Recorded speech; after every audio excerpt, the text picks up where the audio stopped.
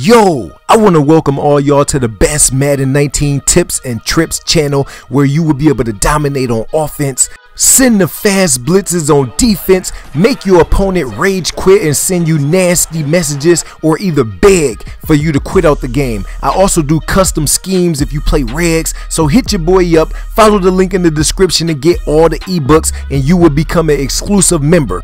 Welcome to the Clamp Squad. What's up ladies and gentlemen, welcome back to another Madden 19 tip video. Today I'm going to be showcasing exactly what I do to stuff the run, whether it's an inside run, an outside run, or a pitch.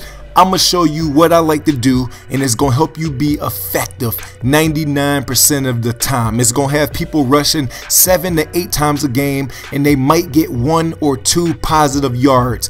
It's going to help you stop all the crazy animations and all that. If you're not following me on Twitter, make sure you do that right now. And if you want my new offensive scheme that I just released to my supporters, make sure you follow the link in the description or email me at Phatdollaz ENT. Now, on defense, what I like to do is press crash my line down and I like to take the linebacker that is not on the same side as the strong side of the field and blitz him. I will move him out over the top of one of the ends blitzing angles. Now it seems hard but it's real easy. No base line. You just want to press crash your line down which is the point of attack is down. Then you want to take the linebacker that is not being used in that play blitz him and then move him over either the left end or the right end depending on what your auto flip tells you. I am in the big nickel over G defense and this will help you be successful right away. This will help your run game. People will not be able to run the ball. They will have to pass it. And when people pass it, they usually go into either a short pass or 99% of the time, some type of crossers play.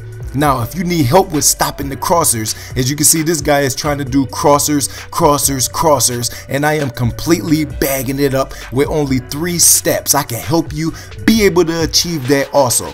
If you aren't a Patreon member, become a Patreon member right now. All the hours that I put into the lab to help all y'all be successful, minus this. If somebody comes out and they have to do this over and over and over, you deserve to lose. But guess what?